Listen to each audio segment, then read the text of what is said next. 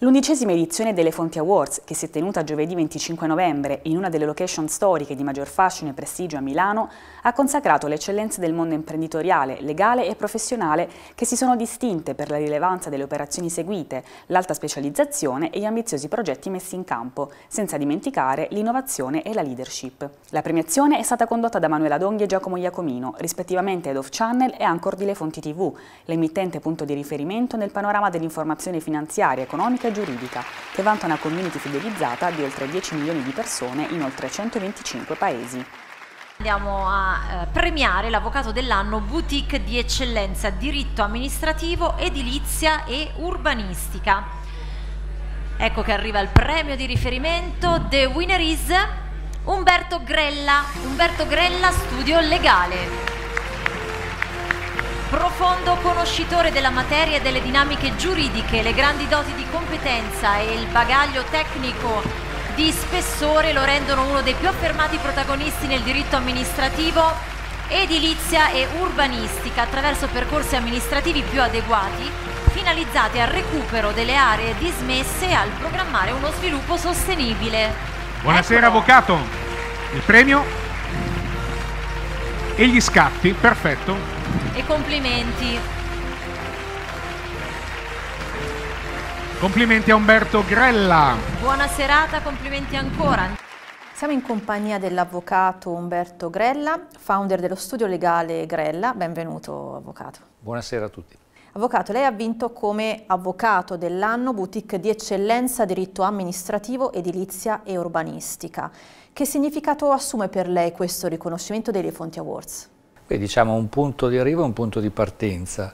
Punto di arrivo di una professione che sto curando da 25 anni, sempre in questo settore, specializzato e con un'esperienza sul campo, sui vari fronti sia della consulenza che del contenzioso.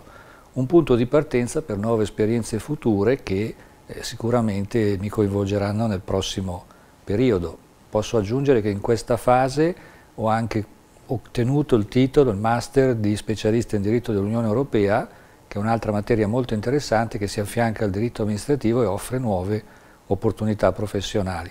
E nei mesi scorsi, durante la purtroppo eh, stasi del periodo Covid, ho registrato otto video lezioni di diritto urbanistico che sono state diffuse in Italia dal Consiglio nazionale dei geometri da molte piattaforme e hanno avuto ben 30.000 utenti, studenti, quindi periodo di soddisfazione. Potete vederli tra l'altro sul mio sito www.umbertogrella.it. Quale ruolo avrà il consulente legale di diritto urbanistico nel PNRR?